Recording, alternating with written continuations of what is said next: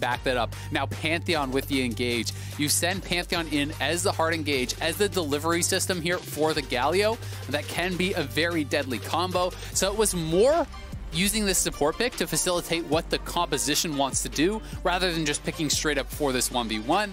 Pantheon plus the Senna can still be threatening in that 2v2 with the point and click CC from the Pantheon to line up the route from the Senna, but I do think if they wanted to go more for that lane matchup, you could even be looking towards Morgana and those types of things for the Black Shield. So this to me feels more about the roaming here from Keria, which he is fantastic at doing, and more about the engaged weapon lane if they want to have a chance to do it.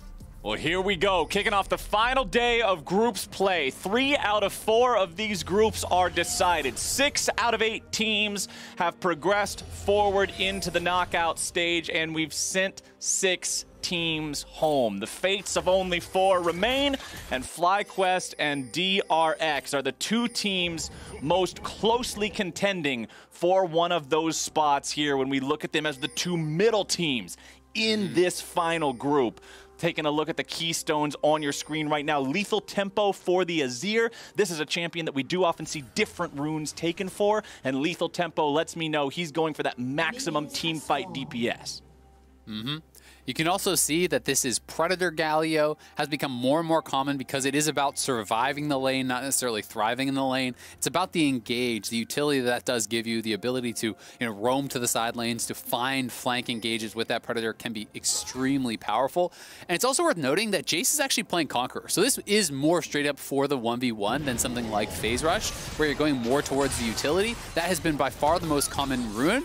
We'll see if FlyQuest can actually punish this because it's so much harder harder to escape if you are pushing as the Jace with Conqueror against the Graves plus Ornn combo than it is if you have Phase Rush, where you just get a couple quick hits in, and then you can just have the slow resist and just straight up run away from the Graves and the red buff slow and the smoke screen slow and those types of things. But if you get into an extended fight as the Jace with the Conqueror, it's just straight up way more powerful as far as kill potential. So We'll have to track this and see if Doran actually wants to go towards a full-on split push build because we've been seeing almost exclusively lethality, but you still can do things like the Black Cleaver Blade of the Ruin King and, and build towards that 1v1 and really try to slam this Ornn if you want. Yeah, Phase Rush Jace walks through a Graves W like somebody just walking past the smoking section at a restaurant. It doesn't do anything to it. But considering the state of the Conqueror, considering the fact that we know what a CC machine the Ornn is. Maybe Santorin will pay some attention up there. Remember, this is a player who, according to a lot of people, best jungle in A in terms of his performance, how much he affected the outcome of FlyQuest's games over the course of summer. He has put a lot of wins on their record in the jungle and Graves has been a champion that we've seen plenty of performance from him on. I mean, we've seen plenty of performance on Graves from pretty much every jungler yep. these days. The champion's incredibly popular in the meta. if you can't play Graves, you're probably not here anymore. yeah, you're probably not going to be doing a whole lot as Keria goes in in the 2v2 in the bottom side here. Turtle eats a lot of damage. Deadly Flourish not going to find Keria on the back end of that one, so it's definitely a trade win for DRX. Spear just barely goes to the right. It's worth noting that uh, we see Turtle actually doing cloth plus a bunch of potions as uh, as that start. So it is almost purely physical damage coming out here, you know, from that bottom lane uh, with Deft and Keria playing that Senna plus Pantheon. Uh, he knows that the potential of an all-in is there, and we saw those trades can be quite deadly. So he did have a lot of potions to start this out. You know, starting with four potions as opposed to if you start with a D-Blade, you just have the one.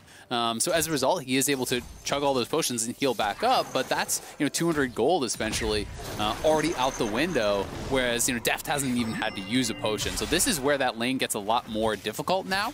Uh, you've used all of your sustain, and you've got to be able to hang on in lane and make sure that you don't give up any more bad trades, because the next bad trade like that may be Turtle going back to base, and that could put you at a pretty heavy CS deficit if it's at a bad timing. Yeah, especially against one of those lanes like you're talking about that likes to go all in when you have the power of the Pantheon. And also consider how good Pantheon is at setting up dives. If they have a big lead in the bottom lane and they can get Pyosik down here and make a big move with Keria oh, going in. Go. But now it's Santorin who's going to be the first jungler getting involved here in the bottom lane. A TP, TP comes through. They're going to turn things right back around against FlyQuest, but now another TP is going to be showing up. Chovy the first one into the fight. The damage comes down. Santorin goes out. 150 HP remaining as Ignar now gets locked down on the back end of the fight, and FlyQuest will disengage it. Both teams getting real excited to make things bloody here in the bottom lane. As topside, the 1v1 just keeps on bringing the action. Solo tries to walk away, has to flash out to avoid the solo death. Yeah, with his spells on cooldown, despite the fact that Doran was very low there, he had to back it up, and now he's got to be a bit careful, because if you get hit by an Empowered Shock Blast, there is always a chance of getting burst down. So in that bottom lane, I do say DRX come out ahead. Uh, they went out as far as the trades in damage. You can see that Turtle had to force the cleanse. Both summoners traded their summoner spells, but no flash used by Pyosik, no summoners used by Deft. Trade of TPs in that mid lane, so pretty evenly contested, but still to the favor of DRX. DRX with a 400 gold lead, just building up these advantages in the laning phase. What you've already talked about bottom lane, what we would expect with Jace versus Ornn on the top side. And, you know, we watch matchups in North America, and we watch how a lot of teams revolve around needing to do the team fighting, like very basic composition front to back style. And everybody always memes about NA Jace and all this, but one thing that is important, particularly for NA teams, going into international competition like this is being able to address a properly executed composition that uses something like a Jace. It can be very difficult if you're used to going up to going up against a version of this that is not adept to now dealing with DRX who knows what they're doing with things. Yeah, I mean, and Doran is going to be building more towards the scaling build, more towards the 1v1. It starts like he wants to go towards that tear build pickaxe for the laning phase power, but then that Fairy Charm leads me to believe this is going to be, you know, Muramana, Manamune, style of build. That is a very powerful scaling build in that side lane, especially in addition to that Conqueror, really looking to take advantage of Solo as this game does go further on.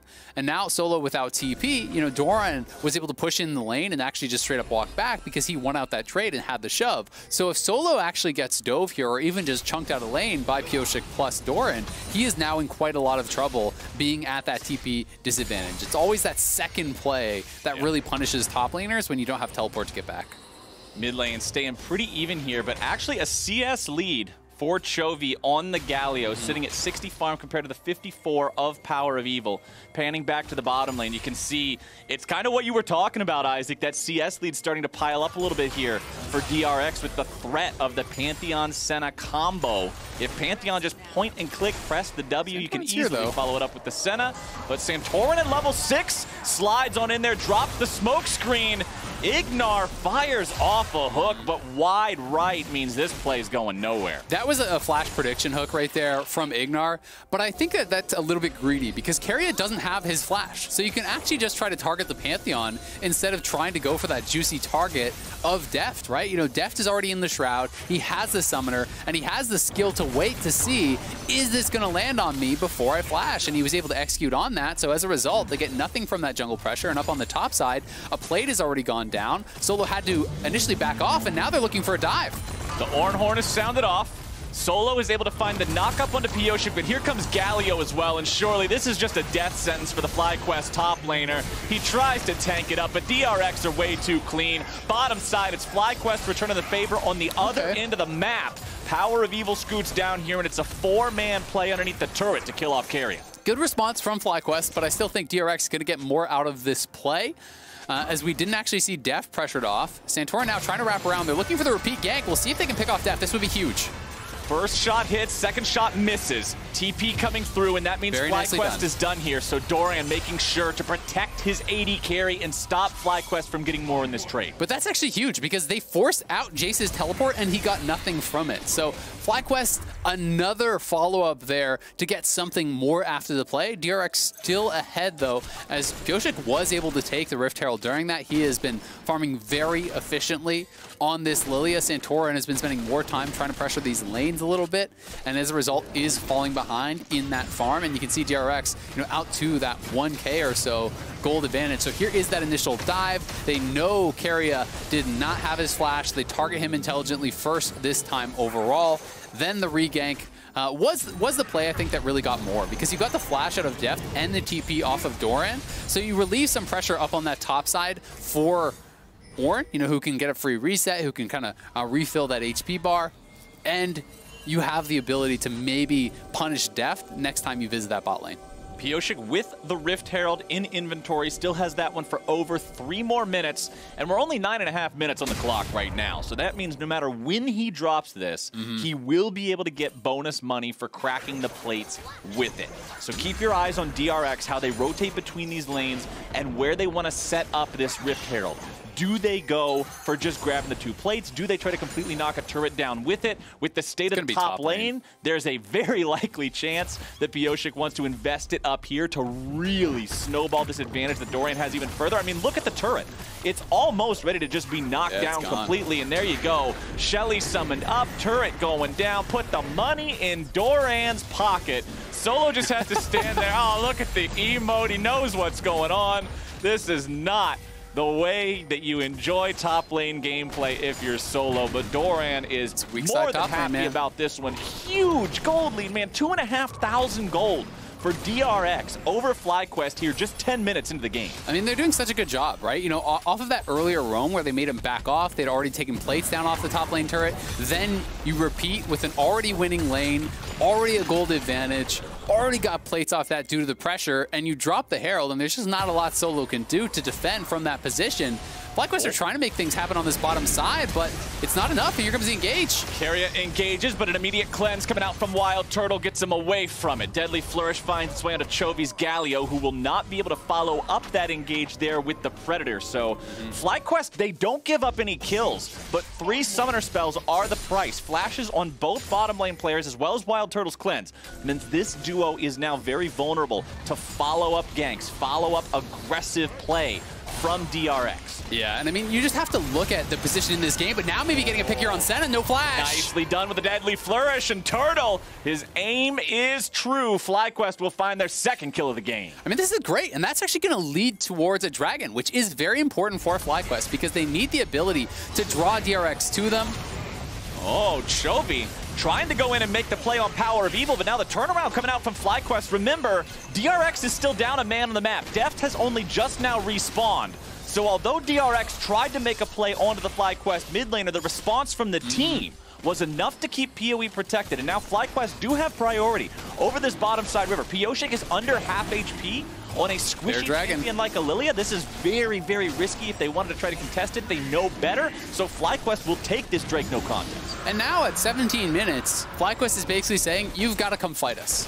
Uh, they're not going to be the happiest, I think, with with the dragon that they actually did roll here. You know, if you got something like an Ocean Soul, for example, then the Orange just starts to shrug off all the split push pressure from the Jace. Uh, Cloud Soul still very valuable. The move speed is very nice. Uh, the ultimate cooldown reduction is going to be useful for those engages that they're looking to pull off, but it's not that same kind of uh, death knell for DRX if they do give it up. But all the same, FlyQuest now have the ability to try to force this team to come towards them. And it's been very clearly a split map game, but DRX has gotten more from it. The question is just, is the area that they have invested that gold in, you know, as worth it, right? Because it is Deft now put a little bit behind in this game.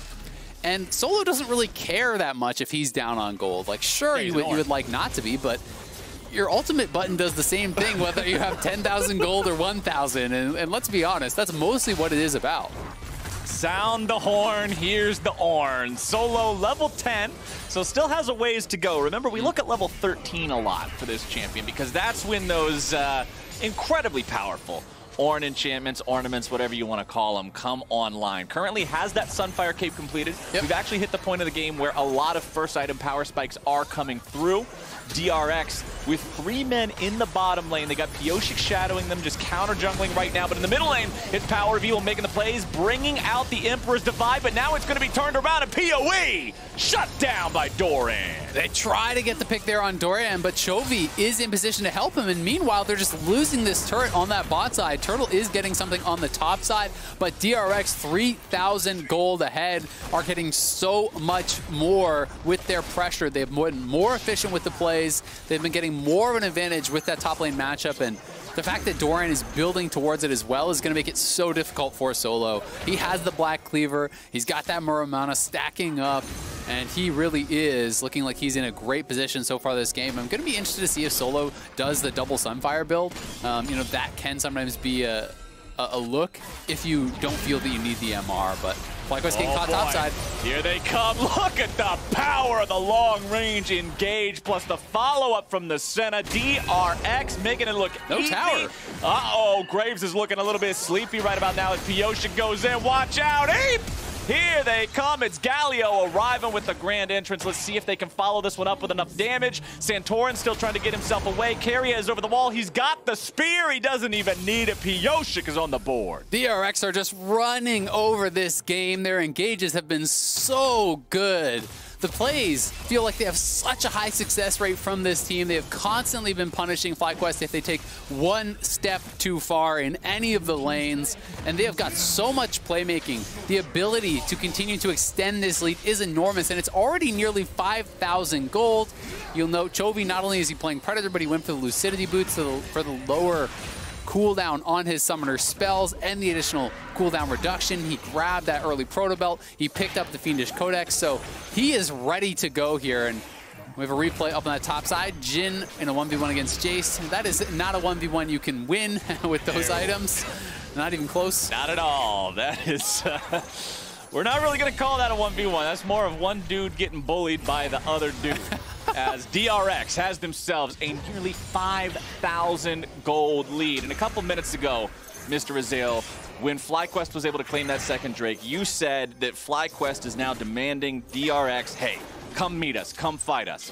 And if you're DRX, You're like, oh, you are Yeah. RSVP See you there, that bud. invitation. You are more than happy to go to that party here in just over one minute because it is such an easy fight when you're that far ahead. Yeah. you have the power that this team has right now. It's true. And, and you know, FlyQuest is going to be dependent upon playmaking. Can you get a really good sort of engage, an initial punch to kill off one of these squishy members? If you can kill off Jace right off the start of the fight, then maybe you have a chance.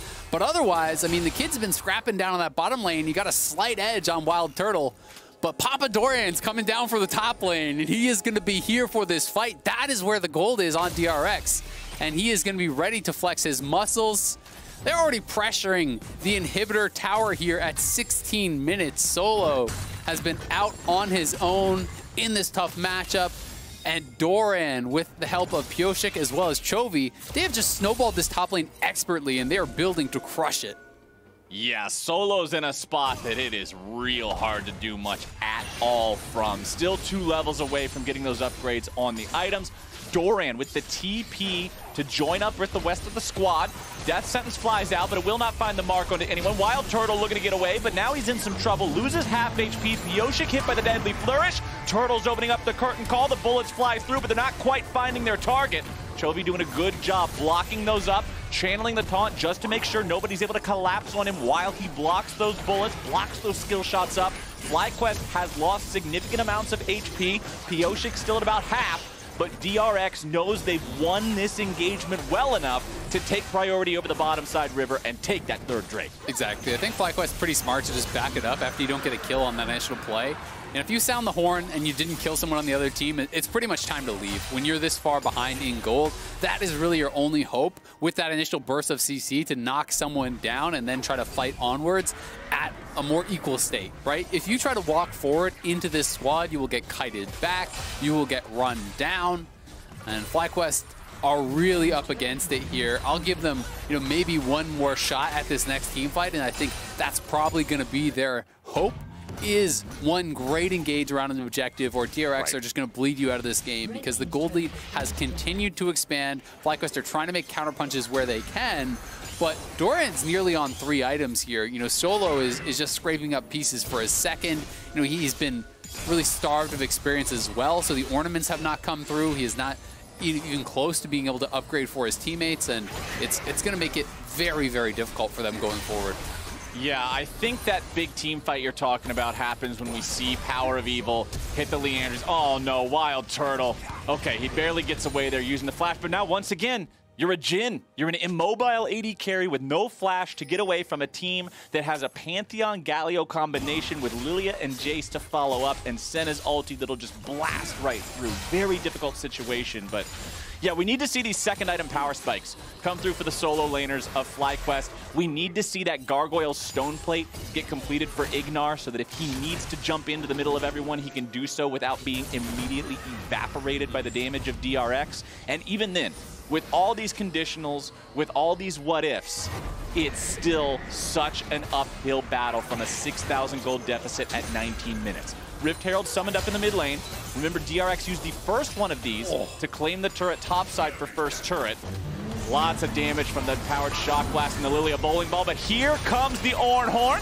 Plenty of damage down onto Deft, but not enough to kill him.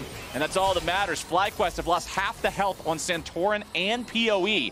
They will continue to defend the tier 1 turret, but DRX confidently moving forward. I mean, look at the positioning. Doran's just looking for Shock Blast snipes over the wall. Pyosik is looking for swirl seeds. Chovy is threatening the flank.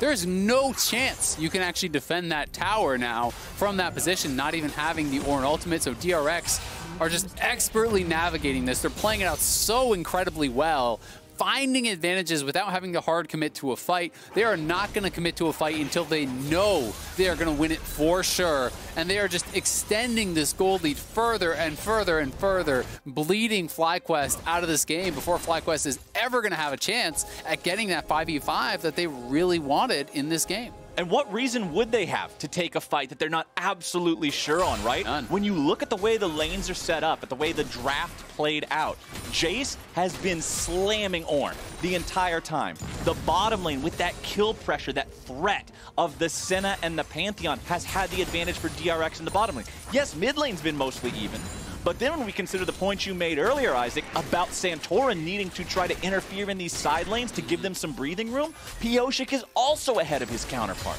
So when four out of five players on DRX are just ahead by default, you just set that sucker on cruise control and you have a great time moving forward because the lead just builds passively. Exactly, and Power Evil is doing fine. You know, he's got farm, but so is Chovy. Chovy and Chovy has been everywhere. He's been roaming around the map, pressuring, you know, looking for dives, threatening engages, forcing cooldowns, and he has been so good thus far in this game, building for playmaking, building to be a facilitator here, and putting himself in a position to really succeed. He even picks up the double stopwatch, so he has stopwatch plus zone. Oh, that's disgusting. So he can just go in for this all-out play. You know, if, if you're DRX here and you're saying, all right, FlyQuest gets one more chance and it's this next dragon fight, well, Chovy already forced the flash off Wild Turtle. So now you can just kind of go on this on this suicide dive where you just charge in the backline, double stasis, and you have to respect this zone of control that Chovy will create. And that buys so much time for the other four members on his team to just clean up everybody.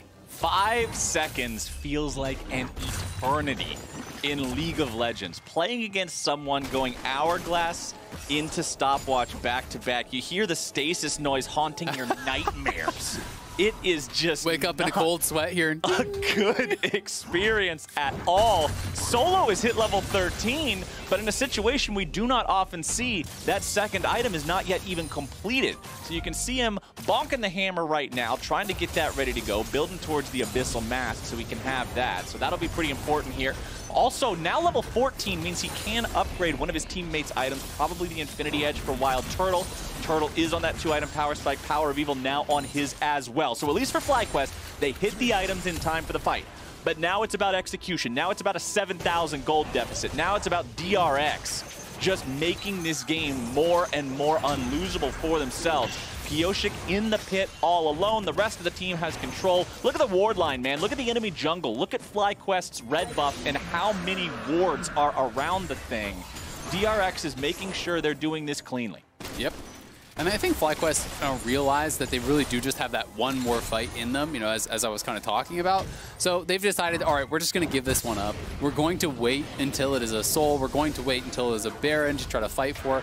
Second Cloud Dragon, not where they want to kind of draw their line in the sand and, and bet their game on, bet really right. very likely their, their entire world hopes on, uh, as it would take a miracle, you know, for them to be able to, to get out. I don't even think they could uh, from that point. So they know they've got maybe one more shot, and they're going to wait We'll see if DRX can now navigate up towards the Baron as we're getting further and further into this game. Try to use Doran down on the bottom side to draw pressure and look to be able to threaten towards a Baron because Doran is going to require a response very likely from multiple members. You know, he is insanely ahead. Yes. You know, his tear items fully stacked. He's got the Cleaver, the Ghost Blade. He's building towards the Lord Dominik's to really shred solo. You know, we talked about the Conqueror, so that's helping him out too. And if you send two members down to try to answer him on the bottom side, well, DRX can probably just start up the Baron. You know, it's a very safe clear. It's not fast, but utilizing Senna for that sustain uh, does make it pretty easy to keep threatening it. DRX prowling through the enemy jungle, sitting down multiple wards, stealing away the buffs, taking control of the entirety of Summoner's Rift. Maybe there'll be a chance for them to look for a play here. Doesn't really appear so. But let me go ahead and just give everybody some fun stats here. Fun if you're a fan of DRX, not so fun if you're a fan of FlyQuest. But if you're looking at this game as a more and more likely DRX win, and DRX walk away from this one with the dub, there are 32 possible remaining scenarios for the remaining five games of the day. Of those 32 scenarios, FlyQuest has two where they can get themselves a tiebreaker if they lose this game. So things become very bleak for North America's last remaining representative if DRX win this game. They also become very bleak for Unicorns of Love, who will be slightly better off than FlyQuest, but would have three remaining scenarios Yeah. where they would then get a tiebreaker. And they would have to 3-0. You know, it, becomes things that are, are kind of out of your hands for both Highly unlikely. teams, right? It becomes very, very unlikely. So FlyQuest definitely going to try to win this game. We'll see if they're going to be able to do it. Uh, the, even the experience is becoming such a problem for FlyQuest because they're getting kind of just choked out of their own jungle. I mean, compare Ignar to the Soul laners. It's level 8 on the Thresh. How are you even supposed to find an engage on a level 16 Jace? like, this guy auto-attacks you and you die, right? Like, the, the experience disadvantage are so enormous because Ignar, you know, from this losing position, is is trying to stay away and give that experience to Turtle, give that experience to his carries, and play exclusively for Vision, right? So he's just constantly buying wards, he's trying to sweep out areas, he's trying to not steal experience. So I do think it is the correct play, but it just makes your job as that Thresh so incredibly difficult, you know, being that outpaced. You know, even Santorin down four levels on Doran. Okay, here we go. Death Sentence comes out from Ignar. Keria is the target, but he buys a ton of time with the shield. Turtle running away, TP coming through. FlyQuest falling back, and Solo continues chasing forward, looking for some sort of an opportunity on to Chovy, who goes into the stasis and gets himself out. Deadly Flourish and Ornalti coming through, but they won't quite be able to find a kill. DRX is low health on multiple players, but the same can be said for FlyQuest. Pyosik's able to make the play. There goes the sleep. There comes the Senna ulti. Power of Evil's the first one to fall, and here comes Keria right back into the fight, looking for the kill onto Ignar off to the left. He's able to find it. He's able to grab the kill onto Santorin, and Doran picks up another. FlyQuest is destroyed, and DRX will win this fight without a single death. Nicely played there from DRX and Chovy even on the hunt for Turtle. Oh, he's Days found him. Behold the turtle. He cannot do it. They are simply too far behind. The ace for DRX into the Baron. It is a 10,000, make it 11,000 gold lead. And Keria the Pantheon, the support who got quote unquote picked at the start, continuing to mount this push afterwards. DRX just so far ahead in this game. It was a good start from FlyQuest. They forced some summoners, they got that stopwatch out of the way, but then as they try to find this opportunity onto Pyosik, look at that, flashing in, three-man Drowsy into the stopwatch, Galio flies in over top, and Power of Evil does not have cleanse. Power of Evil does not have QSS. No way to get out of that. Everyone just piles on top of him. He was the major threat. Yes, Turtle survived with his cleanse flash, but there was no way out for the Azir, and he had to be the guy to carry the fight. So DRX knew it. They eliminated him from the game, and really they have eliminated all of FlyQuest's chances from this position. A 13,000 gold lead. DRX can easily close this one out. Yeah, this Baron power play should just be the end of the game here as DRX will be able to pick up the next Drake of the game. Total gold, you can see right there, 15,000 for That's Doran, insane. almost triple what Ignar has. And one thing I want to point out with this gold graph on the screen, Keria is the second poorest person in the game because he's a support, it makes sense. But Keria, if you want to look up how to play support like a Chad, go watch that last team fight replay again. He jumps in there at the very end with his ulti. 1v2 into Santorin, who is a Graves, who you would think could just one-shot him. Uses the E with the perfect timing to make sure he stays alive, and with 50 Oh, HP left, gets the auto attack on a Santorin to get the kill. Honestly, DRX playing these team fights so well. The Shock Blast, as you point out, say goodbye to half your HP if even one of those connects. DRX now with a pincer attack. Four men in the mid lane, one in the bottom lane. The Jace is able to just dismantle the turret. He's nearly full build. He's five and a half items. Ignar's got 400 health. Keria on the front line, looking for the potential engage there. Power of Evil stepping away from the Senna CC. And FlyQuest will lose their first inhibitor. Yeah, the is going to go down. No contest there. 14,000 gold lead for DRX. Enormous amounts of experience advantage. FlyQuest are just trying to hope for a miracle here. Hope that they can hold the line and continue to farm it out. Pray for that late game, but DRX are not going to give them the opportunity to do it. Closing down on another inhibitor. The top lane is already pushing, so they could go around the horn here and look to triple and hit FlyQuest, but here comes the engage. Deft disengaging, trying to get himself out of this when the curtain calls opened up and the railgun's fired off. Doran dominating with the kill on onto Solo as Power of Evil tries to protect himself, but the Emperor's Divide will not keep the kingdom standing. DRX pushing right on to the Nexus turrets. Wild Turtle barely hobbling away as Chovy moves forward and the winds of war will blow FlyQuest away. Keria is into the wrong fountain, but the man don't give a damn. Take a shower in it, it don't matter. DRX with an absolute destruction of FlyQuest will take their win. This was incredible stuff here from DRX. Such a masterclass on how to play through top lane from the build to the runes to how Pyosik